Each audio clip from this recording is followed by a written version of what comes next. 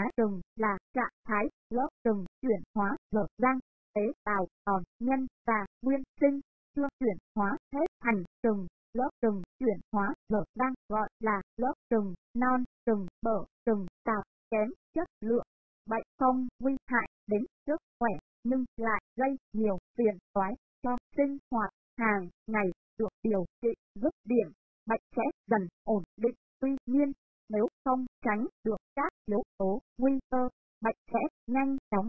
phát và tình trạng bong chóc ta ngày càng nặng nề hơn. Nguyên nhân bệnh á rừng quá trình hình thành bệnh á rừng được các chuyên gia bác sĩ khẳng định yếu tố kích hoạt quá trình gia tăng lớp rừng ngoài ta lây bệnh chính là do yếu tố cơ địa di truyền và yếu tố sinh hoạt bên ngoài gây nên. Tìm hiểu chi tiết tác nhân gây bệnh này để biết cách phòng tránh. Yếu tố di truyền có khoảng gần 50% đối tượng mắc phải bệnh á rừng có liên quan tới yếu tố di truyền cơ địa, tức là quy định cấu trúc cơ địa ta sẽ truyền lại cho đời con cháu. Thế nên những người bị bệnh á rừng thường yếu tố người gây hăn bệnh thể môi thường như ngoài bà tố đi truyền mắc phải căn bệnh thể này? không kể tới một số tác nhân dễ tác động gây bệnh á rừng nên biết như cậu do tiếp xúc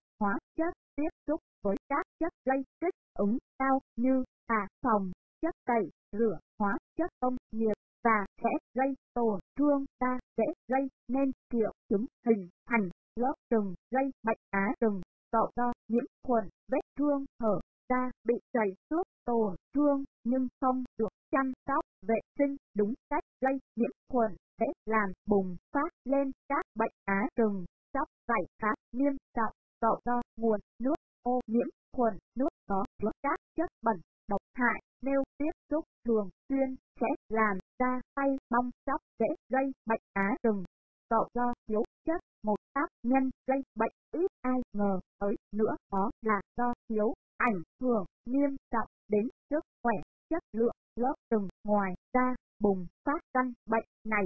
Cậu do yếu tố thời tiết vào mùa đông ta thường khô do bị mất nước thế nên đây cũng là thời điểm rất dễ mắc phải bệnh á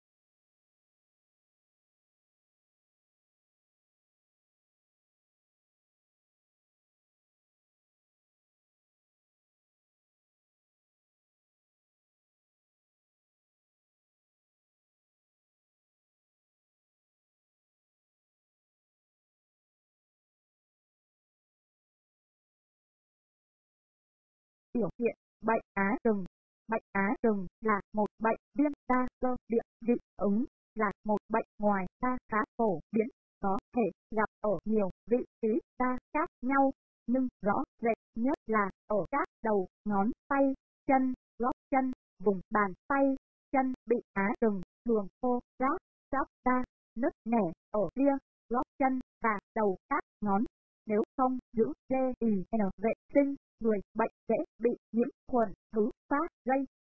sấy. Vào mùa hè, vùng da bệnh bị ngứa, nổi mụn nước như trong bệnh tổ địa. Lâu ngày có thể làm các móng tù tỉ lỗ chỗ vào mùa đông. Tình trạng nứt nẻ càng nặng, phần da bệnh dễ bị toát ra rớm máu, nứt sâu ở gốc ngón gọi là nứt cổ già. Đi lại đau điều trị bệnh á rừng bằng y học cổ truyền tại tỉnh Hà Tĩnh